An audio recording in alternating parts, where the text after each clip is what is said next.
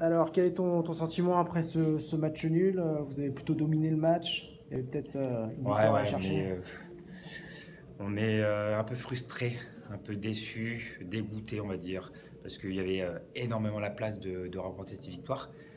Euh, on a le 4-2 à faire sur le penalty que le gardien arrête bien. Juste après, on prend le 3-3. C'est peut-être le tournant du match. Après, il marque le 4-3, on revient 4-4. Et juste après, on a une occasion sur le 5-4. Sur le match, je pense qu'on méritait de gagner. On a énormément d'occasions.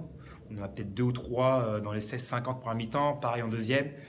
Franchement, euh, ce match va peut-être laisser beaucoup de regrets par rapport à celui du championnat, mais euh, comme j'ai dit à la fin du match aux copains, par rapport à l'état d'esprit qu'on a donné ce soir, c'est un, des meilleurs matchs après les herbiers qu'on ait fait.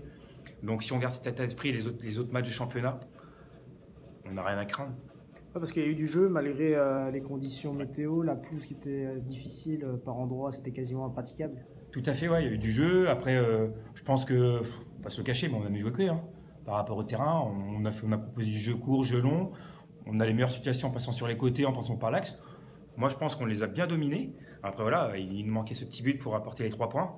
Après, si on joue comme ça chaque week-end, on a peur de personne. Il faut faudra venir nous chercher. Défensivement, ça a été un petit peu euh, difficile parce qu'ils ont, ils ont quand même marqué 4 buts Ouais. euh, avec assez peu d'opportunités. 4 buts avec assez peu d'opportunités, c'est vrai. Le troisième, il est anecdotique, comme on se parlait avec Lucas, euh, il veut dégager pour mettre en touche, il se loupe par rapport aux conditions. Et après, avec le terrain, ça va tellement vite, ça ne même pas ralenti. Le, derrière le, le- le but de, Gilles, de, de Julien, le mec il veut faire un plat du pied, il y a une petite mode, ça passe par-dessus Julien, voilà, pas de chance. Mais après, c'est vrai qu'on prend 4 buts. Il faudra qu'on regarde un peu après euh, avec le coach et euh, les joueurs par rapport à la vidéo qu'on fait chaque semaine voir d'où viennent nos erreurs. Mais euh, après, ce qui est intéressant, c'est qu'on en prend 4, mais on en met 4 aussi, quoi. Et on peut en mettre 5 ou 6 même. Donc c'est encourageant par la suite.